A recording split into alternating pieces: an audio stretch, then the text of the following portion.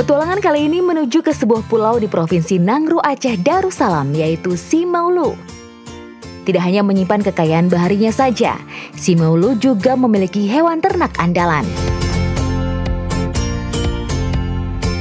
Masyarakat di desa Sibigo ini pasti punya kerbau buat dijual ya Pak, buat apa lagi? Dipelihara. Dipelihara, dimakan juga. Dimakan juga. Dimakan juga. Tapi yang paling unik nih kalau ada yang mau beli terus mau nangkap kebonya, kita harus nangkapnya pakai alat ini. Semacam lasso tradisional kalau menurut saya. Ikuti jejak saya, jejak petualang. Meski diternak, kerbau Simaulu dibiarkan hidup di alam bebas. Penanda di telingalah yang menjadi bukti siapa pemilik hewan memamah biak ini. Terbiasa hidup di alam liar membuat kerbau-kerbau ini sulit ditangkap.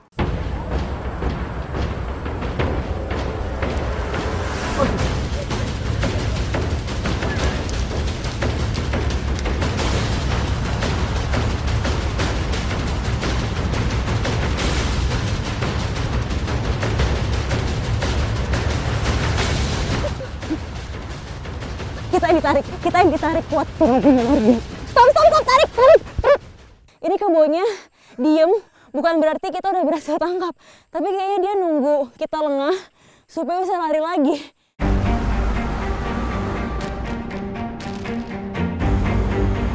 Meski berbobot mencapai 400 kg, kelincahan dan kecepatan gerak kerbau-kerbau ini tidak bisa dianggap remeh. Susah Coba sekarang, coba aku tangkap. Harus berarti bagian belakang ya. Oke.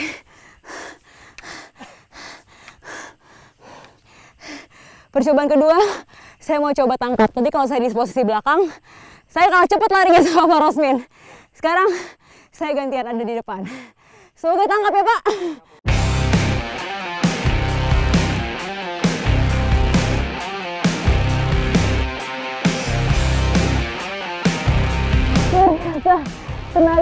Menurut saya gak kalah sama kuda.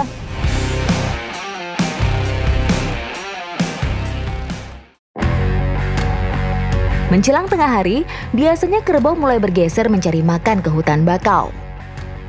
Meski berbadan besar, kerbau-kerbau ini gesit berenang, melintasi laut menuju pulau tak berpenghuni yang berjarak sekitar 100 meter.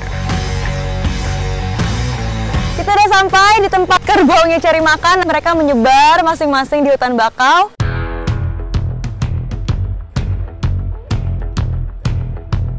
Kalau udah sampai tempat makannya, tadi dari 20 kerbau yang nyampe ke sini langsung pisah semuanya ke tempat makan mereka masing-masing. Itu salah satunya saya nemu dan saya nggak boleh berisik sama sekali. Kalau dia dengar suara dikit aja, langsung kabur lagi. Harus pintar-pintar cari jejaknya.